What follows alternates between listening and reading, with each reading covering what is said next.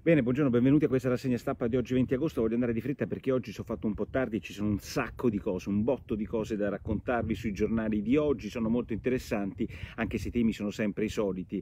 E, mm, vi ricordo sempre sul sito nicolaporro.it tutte le altre informazioni, ovviamente quelle più importanti della giornata riguardano la scuola, perché queste pippe, queste pippe, sulla cosa più importante che oggi ci sia, cioè far riprendere la scuola, che è ripresa in tutto il mondo, ci sono dei paesi in cui è già riniziata la scuola per un sistema scolastico diverso dal nostro. Bene, in tutti i paesi del mondo è già ripresa, l'unico paese al mondo in cui ancora stiamo qua a farci i, i fumi al cervello su quello che come dovremo ritornare a scuola è l'Italia.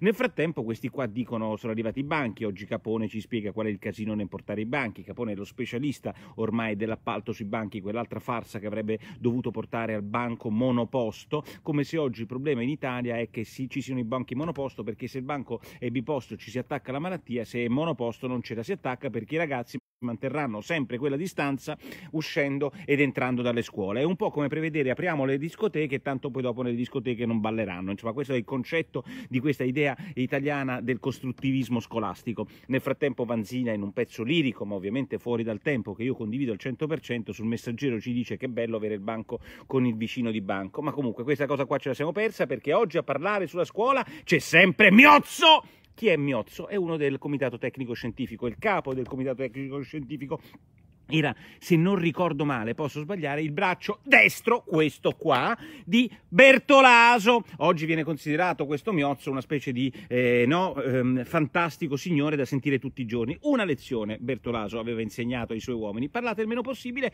e soprattutto quando avete qualcosa da dire. Miozzo oggi parla, ha parlato ieri, l'altro ieri, l'altro ieri il giorno precedente, probabilmente lo chiamiamo anche Quarta Repubblica, ma da noi non ci viene, e, e dice le sue cose che ovviamente sono quelle di un tecnico che non dovrebbe parlare su mascherine mascherine, quando metterle, quando non metterle, quando aprirle, eccetera, creando la solita confusione che abbiamo oggi per cui pare che siano obbligatorie le mascherine a scuola per i ragazzini sopra i 6 anni e poi se le tolgono quando interrogati, alcune volte no, alcune scuole oggi spiega ehm, potrebbe, il messaggero potrebbero essere aperte in modo scaglionato, Beh, insomma il più gran casino del mondo sulla cosa più importante del mondo e cioè la scuola, tutto il resto sono cazzate, la il lavoro e la scuola sono esattamente i due pilastri di una società che vuol crescere, tutti bravo Draghi. L'unica cosa che devono fare è non fare bravo Draghi, mettere le condizioni ai giovani di fare qualche cosa, divertirsi, poter uscire la sera, fare sport e andare a scuola o no. Poi a un certo punto magari lavorare, se mai dovesse capitare in questo paese, ma forse io sono un becero conservatore. Nel frattempo leggo Simonetta Shandivashi. Adesso scusa, mi scuso se non ho letto bene il nome, ma insomma non l'avevo mai letta, non la conosco questa ragazza che scrive, questa signora che scrive sul, sul foglio quotidiano, tu capisci perfettamente che questa persona ha l'idea di saper scrivere bene. Qualcuno deve fare i conti con la scrittura. Io non so scrivere bene. L'annunziata non sa scrivere bene. Beh, certo, insomma, mettiamo delle distanze tra i due. Montanelli sapeva scrivere bene. Ci sono delle persone che sanno scrivere bene e altre che non sanno scrivere bene. Questa Simonetta Shandivasci non sa scrivere bene, ma un'idea ce l'ha, e cioè che quelli che vanno in discoteca sono degli cafoni. Sono dei cafoni. Non solo sono dei cafoni, ma sono anche un po' arretrati perché eh, sono uomini degli anni Ottanta. Su questo non posso darle torto, essendo io degli anni Ottanta e amando l'idea della disco music degli anni Ottanta, ma mi chiedo, toc toc, Simonetta Shandivaci, sei veramente sicura che i giovani siano così contenti di non andare in discoteca? Sei così sicura che i giovani per loro non è un elemento di libertà quello di ballare? No, io lo chiedo, eh, perché voi leggete questa Shandivaci e pensate che ci sia Vitiello, avete presente Vitiello? Quello che la parte chic di sinistra del, del, del, del, foglio fatto quotidiano, cioè quelli che potrebbero stare o al fatto o al foglio in, in, in maniera eh, diciamo identica, beh insomma questi qui pensano che noi dovremmo stare come loro a leggere eh, le biografie di Nietzsche. Bene, risalgono i contagi chiusa la parte sul gran casino della scuola, sulle discoteche le abbiamo uccise, ma tanto che ce ne frega, no? Le discoteche chi se ne fotte. Ieri girava una specie di cosa che mi hanno mandato i miei amici. Toc toc! Amici, smettetela di mandarmi le cazzate di Casalino. Ieri girava una specie di, come si chiama, circolo, eh, eh, come fanno i casalini, i movimenti 5 Stelle. Io non capisco come amici miei che conosco da anni hanno fatto tutta una tabellina, 4 miliardi, ma che dite? Immaginate un po' voi se il fatturato di 4 miliardi è quello delle discoteche con solo 16 milioni di utili. Cioè, loro prendono delle cose che trovano sulla rete rete, le fanno circolare e pensano che quella sia la verità. Questo è avvenuto ieri, quindi i discotecari pagano in nero, si drogano, fanno entrare, cioè sono la peggior razza del mondo. Poi lo fanno i miei amici cinquantenni che fino a 25 anni magari si facevano come dei cabriolet e andavano nelle discoteche come se nulla fosse. Oggi però i loro figli non possono, fantastico. Però andiamo avanti e comunque quelli che gestiscono oggi le discoteche sono tutti delinquenti che pagano in nero. Perfetto. Così sarà se volete. A me non mi fotte nulla perché comunque di discoteche, come ho detto, ho, messo, ho attaccato le all star al chiodo. Risalgono i contagi, grande compiacimento dei giornali unici del virus, arrivano a 642, mai così alti dal maggio del 20, dal 23 maggio. Io, eh, sentite questo titolo, vacanze, feste, contagi, il caso Sardegna. Cazzo, che sta succedendo in Sardegna? Intervista a Solinas, aumentano anche i morti, sette, sette. Ieri ci sono stati 500 morti per eh, infarti, 400 per tumore, che magari potevamo diagnosticarli prima, e 7 mm, morti, 7 morti, benissimo. Io vi invito a leggere un pezzo di Antonello Piroso, che magari pensa che io sia un negazionista, perché lui continua a parlare di questi negazionisti, insomma sarà come, come si chiama quell'altro, come Ricolfi, che quando uno non è d'accordo con il mainstream, cioè con Miozzo, deve essere per forza un negazionista. Ma oggi il pezzo di Piroso di fatto potrebbe essere definito dagli stessi che definiscono negazionista me un pezzo pezzo negazionista. Sapete perché? Perché Piroso fa una cosa banale, fantastica. Seguitemi, vi prego, seguitemi. Cosa succede ieri sull'agenzia? 17 eh, alle 15.59. E vi ricordate il titolo del Corriere? Vacanze, feste, contagi, il caso Sardegna. 15.59 ANSA, la più importante agenzia italiana, quella con cui io ci metto la mano sul fuoco e continuo a mettercela, dice. Focolaio Porto Cervo ventenne romana in terapia intensiva allo Spallanzani in isolamento i tre eh, ragazzi del cluster del Circeo. Quindi loro ci dicono alle 15.59 che una ragazza di quel portocervo, discoteche, Ibiza, cattivi, giovani, in terapia intensiva, come per dire vedete, ve la siete meritata, questo lo scrive nelle prime cinque righe eh, Piroso raccontando l'agenzianza, se non che alle 17.24, dopo un'ora e mezza, il mitico Chiocci, direttore dell'ADN Cronos, telefona allo Spallanzani. Non ci vuole molto, Pronto Spallanzani? Sono ADN Kronos, sono l'agenzia ADN Kronos. Toc toc! Cosa succede con questa ragazza? Come sta la ragazza? E dice eh, lo Spallanzani, nessun terapia intensiva. Alle 15.59 c'è una terapia intensiva, alle 17.24 dicono che non c'è nessuna terapia intensiva e che i tre ragazzi non sono quelli del Circeo, ma sono quelli della Sardegna che sono lì in ospedale e in una situazione clinica assolutamente perfetta, non, non, non negativa, non hanno problemi di respiratori, non sono in terapia intensiva, non hanno l'ossigeno, sono con un quadro in buone condizioni cliniche, cioè capace che c'erano 39 di febbre come dicevo io sono andati in ospedale perché hanno i genitori caga sotto che invece di tenerli a casa li portano i ventenni in ospedale. Questa è l'idea geniale, perché io mi rivedo tutti questi che piangevano, non mi hanno fatto neanche il tampone, che te frega, non ti hanno fatto il tampone, se non c'è la febbre stai a casa in isolamento, zitto e muto, ma questa cosa non gliela puoi spiegare.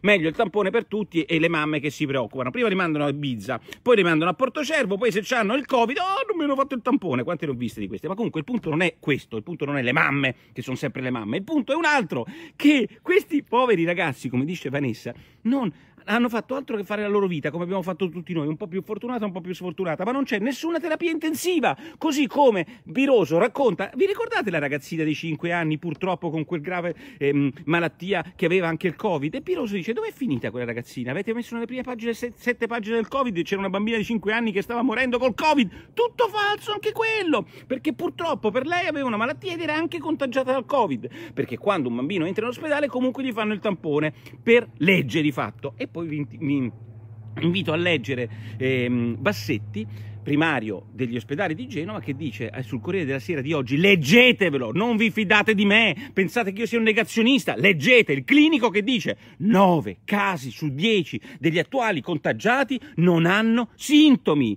non hanno nessun problema, non sono malati e lo dice sul Corriere della Sera, io mi sgolo per dire perché noi che cosa facciamo? Distruggiamo la scuola, le discoteche, a voi non ve ne frega niente, la vita normale, ma 9 su 10 non hanno sintomi, non valgono nulla, non sono nulla e uno che ha i sintomi in realtà non ha sintomi gravi, tant'è che dice, mentre a marzo Bassetti l'11% di coloro che avevano gravi sintomi venivano da noi e purtroppo morivano, oggi sapete cosa succede?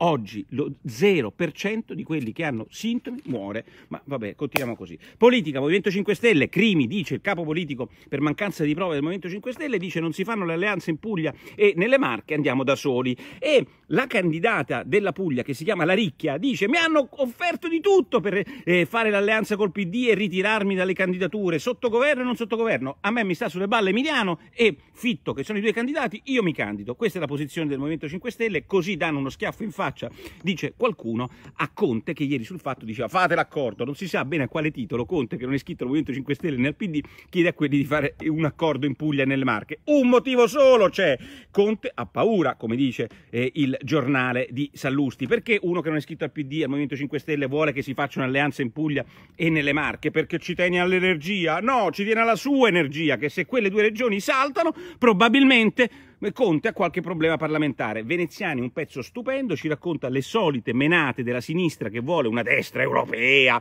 più, meno conservativa, insomma, una destra senza Salvini, senza Rutti, senza questa gentaccia qua, e poi dice, eh, Veneziani, ma avete visto che cos'è sta sinistra? Cioè, sto, sto accordicchio tra PD e Movimento 5 Stelle, rompete tanto le palle alla destra, e questa sinistra tutti zitti e muti, quella de Casalino e, e, e, della, e della, come si chiama, della Raggi che si candida per la terza volta, e del PD che cambia idea tre volte sul Movimento 5 Stelle, fantastico, Veneziani leggetevelo e poi dice l'unica cosa positiva di questa roba è che c'è un nuovo bipolarismo. Beh, poi eh, in realtà voi attaccate la Puglia, eh, Gallera, la Lombardia, non si attacca mai la Puglia, ehm, la Lombardia su Gallera, la eh, eh, però in realtà oggi c'ha ragione il giorno, il giorno, il giornale in cui Ivano Costa scrive sul giorno editoriale, ma ragazzi ma siamo impazziti, ieri è partito un treno per 10 km senza il conducente e senza il capotreno, è deragliato e, morta, e, e si è contusa una persona, ma insomma questa non è una cosa che si può accettare come non si può accettare la merda dei, mh, mm, si, dei, dei, dei treni pendolari in Lombardia. Ecco, noi qui iniziamo a occuparci dei problemi eh, seri, cioè i pendolari in Lombardia, e invece fingiamo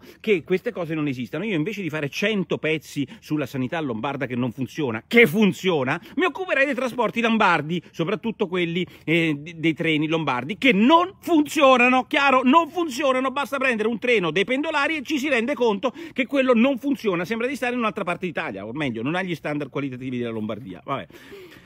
Su questo ne riparleremo. Sul referendum, posizione di Molinari, direttore di Repubblica, dice votate no al referendum perché da 630 a 400 parlamentari, da 315 a 200 senatori è un taglio lineare, non è messo in una riforma, serve a poco, non semplifica. Vittorio Feltri dice sul libro una cosa molto simile, votate no al referendum del 20 e 21 febbraio perché in realtà aveva ragione Renzi in questo, se volevate semplificare le procedure cancellavate il Senato e quindi era tutto più semplice. Ovviamente Travaglio la pensa in maniera completamente opposta e dice ma come il taglio dei parlamentari lo volevano anche le commissioni, Bozzi e, e la bicamerale? Beh, ovviamente a Travaglio sfugge una cosa semplice come spesso a Travaglio essendo talmente fuori da ogni logica di credibilità sfugge, e cioè che quelle riforme Bozzi, la riforma bicamerale, tagliavano i parlamentari, ma li tagliavano in una logica di semplificazione complessiva. Invece questo, c'ha ragione Molinari, il direttore di Repubblica, qua dici tagliamo i parlamentari, risparmiamo 50-60 milioni all'anno, e che c'è risolto con 50-60 milioni all'anno che questi li buttano sui monopattini? Il problema non è risparmiare 50-60 milioni all'anno, è far funzionare le cose, i parlamenti, le leggi, eh, in tempi credibili, ma abbiamo veramente risolto qualcosa? Abbiamo soltanto alimentato la bestia dell'antipolitica, quella dei 600 euro e, e così, e il travaglismo d'accatto. È stupenda, stupenda. Ragazzi, la storia più bella di oggi è la storia tra questo Satragni, critico musicale della stampa, e la Murgia. Perché quando vedi queste robe dici, ma in che cazzo di paese viviamo? Viviamo quasi negli Stati Uniti, il peggio del peggio da questo punto di vista, perché dovete sapere che il critico musicale della stampa ieri si è permesso di dire che e, e, la, e, la, direttrice di un'orchestra importante era una donna e che eh, lo faceva esattamente, fa, fa esattamente quello che fa un uomo Apri di cielo! La Murgia dice sei un sessista, scrive un pezzo sulla stampa, basta pensare che una donna se fa una cosa bene vuol dire che lo fa come un uomo. E quello oggi gli risponde, dice io non volevo dire, e quasi si scusa che fa una cosa ehm, come un uomo, volevo dire che ormai c'è una parità di genere, che le donne fanno meglio degli uomini queste robe. Insomma, la sapete qual è la cosa ridicola? La cosa ridicola è che in questo paese ci stiamo eh, veramente rincoglionendo come gli americani sul politicamente corretto e sulla cancel culture. Se un signore dice che quello fa una cosa bene come un uomo, non ci vedo nessuno scandalo. Se dicono che un uomo fa una cosa bene come una donna, non ci vedo nessuno scandalo. Se diciamo che l'uomo e la donna sono non esattamente uguali, non ci vedo nessuno scandalo.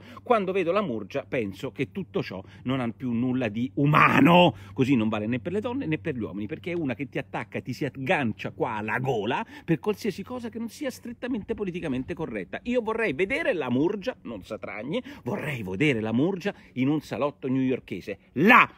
deve stare la Murgia, deve trovarsi, dobbiamo catapultarla dalla Sardegna, dove è piena di cafoni che vanno a ballare a, a Porto Rotondo, e la dobbiamo mettere in un grandissimo e grandioso ehm, salotto nuraghe eh, newyorkese, dove non ci rompa più le balle sulla questione di genere. Là avrà solo amici suoi, solo cagacavoli che rompono le scatole sulla parolina, sulla cosa, sulle statue. È il posto della Murgia. Spediamo la Murgia a New York, ma non perché io non la voglia in Italia, è talmente irrilevante che potrebbe stare anche qua, dove mi trovo trovo io. il punto fondamentale è che lei si troverebbe nel perfetto brodo di cultura che io non vorrei più vivere in questo paese. Licenziamenti vietati! Italia oggi titola, si sono sbagliati. Si sono sbagliati. Sapete che succede? Hanno detto se voi ti facciamo fare gli sconti su i contributi sociali e poi andando a leggersi la norma Magnaschi Italia Oggi che cosa si sono accorti? Se tu hai il 30% di sconto sui contributi sociali non puoi mai più licenziare quello che hai assunto dei geni totali. Eh, Apple vale 2 mila miliardi di dollari, vale più Apple praticamente del PIL della Spagna, è quasi il PIL dell'Italia, è arrivata ai massimi anche Wall Street, c'è qualcuno che su Wall Street Journal dice, beh attenzione perché ormai mh, il rapporto prezzi utili è 23, cioè per comprarti eh, il prezzo, un'azione ci metti 23 anni di utili, beh insomma e questo è un livello molto alto e quindi attenzione perché è a dei livelli che non si erano mai visti già eh, cambiati i decreti di sicurezza, scrive Borgonovo, per chi è interessato alle vicende dell'immigrazione. Direi che per oggi è tutto, cagacavoli pieno per il mondo, Lucia, bravo eh, Marilena, vi ho saluto tutti quanti, vi ricordo come sempre che noi abbiamo la nostra zuppa e non solo la zuppa sul sito nicolaporro.it e vi do un abbraccio a tutti quanti, ciao!